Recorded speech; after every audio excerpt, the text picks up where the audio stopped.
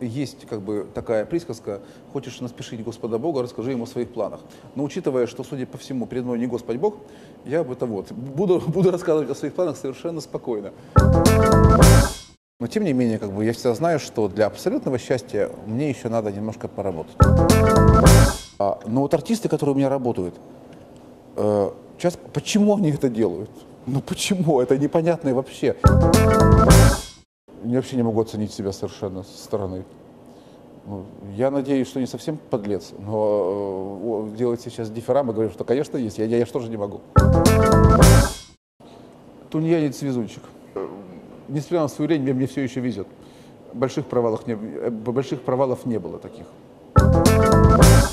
Это и Кривой Рог, и Запорожье, и, Ха- и Днепропетровск, и Херсон, и Николаев, и...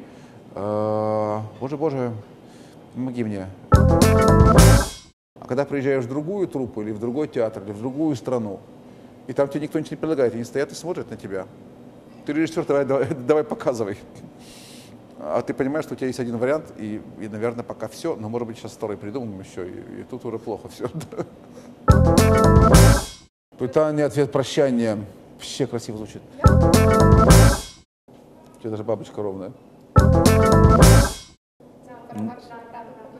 Incrível, pessoal.